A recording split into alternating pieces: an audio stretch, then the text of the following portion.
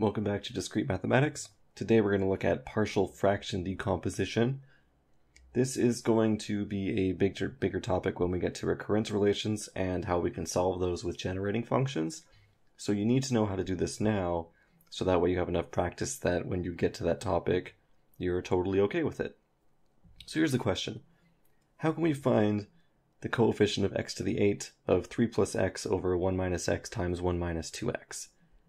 Well, clearly we want, or we see two different generating functions there, but we also have this fraction on top, or not a fraction, but this variable on top 3 plus x. That's a little bit harder to deal with. So we want to split it up into pieces that look like 1 over 1 minus a x to the n. Well, really this 1 can be any coefficient we want, so we can put this a0 or capital A, capital B, so I'm going to show you how to split this up. So here's our example, 3 plus x over 1 minus x times 1 minus 2x. What we can do is we can say, okay, it's going to be some constant over 1 minus x plus another constant over 1 minus 2x. Since we had something become a common denominator, so when we take a times 1 minus 2x plus b times 1 minus x, we get the common denominator of 1 minus x times 1 minus 2x. So we're just decomposing it. So what we can do here is we can say, okay, well, we have a times 1 minus 2x, so we're going to try to compose it back. We're going to try to get the common denominator and see what our a and b are. So this is going to be a times 1 minus 2x plus b times 1 minus x. And for the sake of consistency, for the first example, I'm going to write out the whole thing. So now we have the common denominator, and we have 3 plus x over 1 minus x times 1 minus 2x. Um, at this point, I'm going to drop the denominator and just work with the top half. So we have 3 plus x is equal to a times 1 minus 2x plus b times 1 minus x. Okay, we're going to expand the right side. So this is a minus 2ax plus b minus bx, and this is equal to 3 plus x. We're going to group all of our x's together. So, well, we'll do the coefficients first. So we have a plus b, and then we're going to add, okay, we have negative 2ax, and then we have a negative b. So we have 3 plus x is equal to a plus b plus negative 2a minus b times x.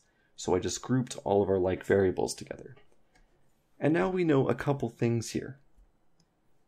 We know that a plus b has to be equal to 3 because a plus b is the constant on the right and 3 is the constant on the left. We also know that negative 2a minus b has to be equal to 1 because the coefficient of the x is 1, so negative 2a minus b must also be 1.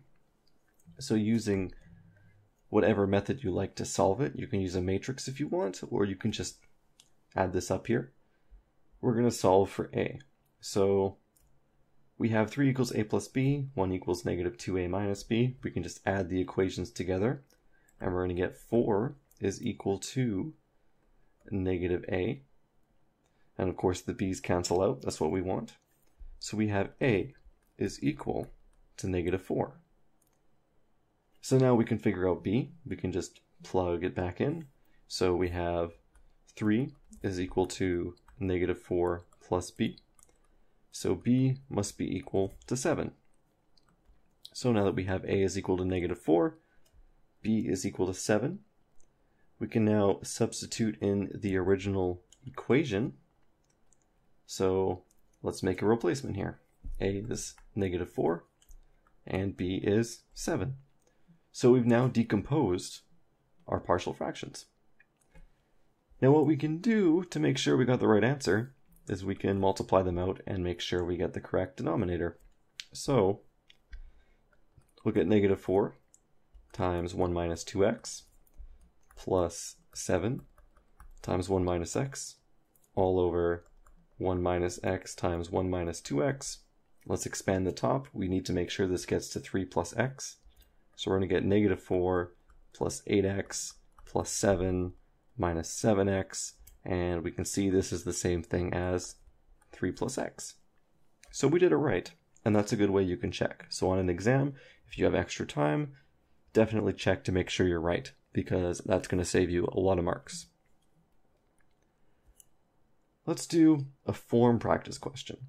Since what you're probably saying is, okay, I understand that you split up into a over 1 minus x plus b over 1 minus 2x, but what happens when things get a little bit trickier with more than 2? So, what we have here is three different denominators. So we have 1 minus 2x, 1 minus 3x squared, and 1 plus x. So we have a over 1 minus 2x. Okay. Then we have, well, let's do the last one first. We're going to have b over 1 plus x. But what do we do about this 1 minus 3x squared? Well, we have c, which is 1 minus 3x to the 1, because we could have a denominator with 1 minus 3x on its own. And another one could be 1 minus 3x all squared. So we're going to have four terms here. So we need to solve a plus b plus c plus d all over their respective powers. So, for instance, if we had some constant a0 or a6 over 1 minus 4x to the 4, then what we have to do is we have to do it for every single power. So we have a over 1 minus 4x plus b over 1 minus 4x all squared plus c minus or c over 1 minus 4x all cubed plus d over 1 minus 4x to the 4. So we're just doing all possible combinations that you could get up to that denominator. So it might seem a little bit weird that we're doing it like that. But again, we have to cover all possible scenarios. It might just happen that say this c over 1 minus 3x is a 0, and then you just wouldn't include it in your answer. And that's perfectly okay. That could happen. But the form is also important. So, let's do one practice here. We want the sixth coefficient of 13 minus 14x over 1 minus 2x times 1 plus x.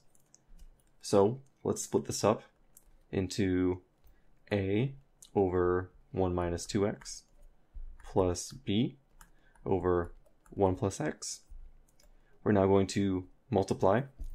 So we want to get a common denominator. So we're going to get a times 1 plus x plus b times 1 minus 2x. I'm just going to leave the denominator out because it's a little bit faster and not as messy. So we have 13 minus 14x is equal to a times 1 plus x plus b times 1 minus 2x. So I'm going to expand this out.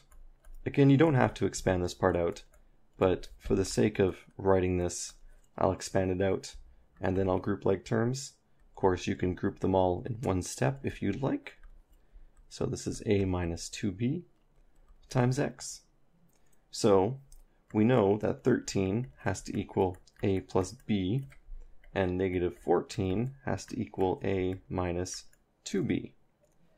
So what we'll do is we're going to subtract this bottom equation, so that way we can eliminate the a's. So we're going to get 27 is equal to 3b.